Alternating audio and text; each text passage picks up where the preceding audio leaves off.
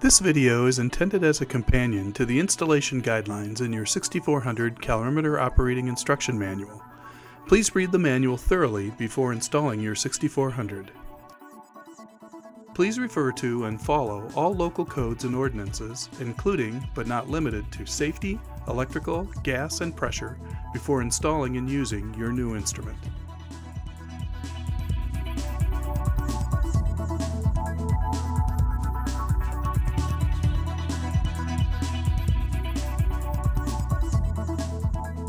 Your Parr Instrument Company 6400 calorimeter ships complete, but some assembly and setup is required. This video will guide you step by step through the installation process. First you need to carefully plan where to install your calorimeter. It should be installed in an area free of drafts from windows, cooling fan exhaust, and other equipment that is capable of changing the surrounding air temperature. Your 6400 comes to you shipped in two boxes. We suggest you unpack them at its final destination. Box 1 contains the 6400 cushioned by custom molded foam packing traps. Remove the top trap and lift out the unit. For safety, we recommend two people lift the unit to its final destination. Carefully remove the packing tape securing the lid and remove the protective cover from the LCD. Box 2 includes the rinse tank, an oxygen and a nitrogen regulator, an operator manual, and accessory kits. The smaller packages include all of the materials and accessories you will need to set up and run the 6400.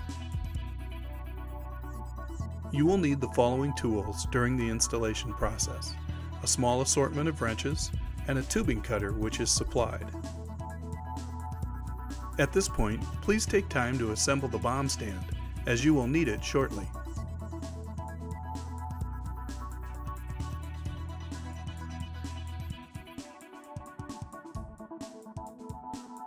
You will now need to make connections for the following. Rinse water, oxygen, vent, exhaust, and of course power. Pressure regulators for oxygen and nitrogen are required to maintain the proper operating pressure. Please install these at each source before proceeding. After relieving any residual pressure, open the rinse tank by pulling up on the handle, then pressing down. After filling the tank with 17 liters of deionized water, reinstall the lid. Be sure to close the relief valve. Connect the gas inlet and water outlet lines to the water tank using the appropriate lines provided.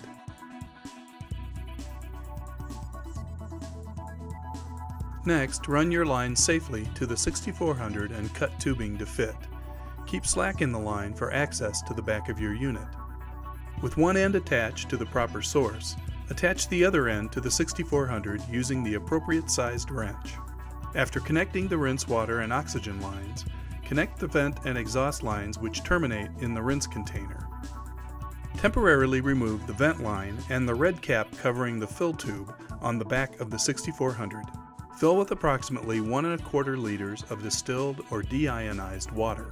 You should see water standing in the elbow when properly filled. The water level should be checked weekly and topped off as needed. When finished, replace the vent line and cap.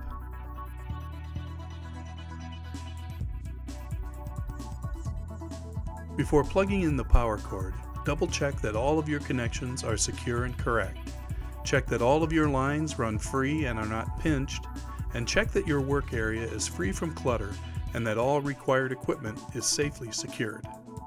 Turn on your 6400. After a brief moment, the screen will display the boot up sequence.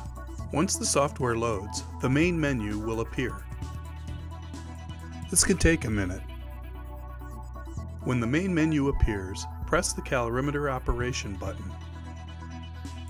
Once you have a valid jacket temperature, press the heater and pump button. Water will now start to circulate in the 6400. You should see the water flowing through the tubing behind the lid. Once the water is circulating, press Escape to return to the main menu.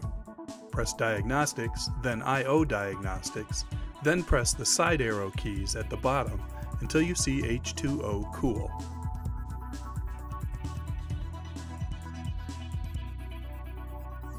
At this time, remove the vessel head by turning counterclockwise one quarter turn. Place head on the stand. Press 1 for on. You should hear a click and then gurgling coming from inside the 6400. Once the gurgling stops, turn off the H2O Cool by pressing 0. This process fills the internal cold water reservoir. Check the water level in the elbow. Refill with approximately 600 milliliters. Next, look inside the cylinder and make sure the check valve is correctly positioned. If not, reseat as shown. Replace the head with a clockwise 1 quarter turn. You are now ready to run tests with your Parr 6400 calorimeter.